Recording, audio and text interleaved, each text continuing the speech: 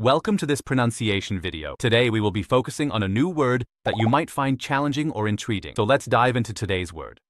Given, which means given in Chinese. Let's say it all together. Given. Given. Given. One more time. Given.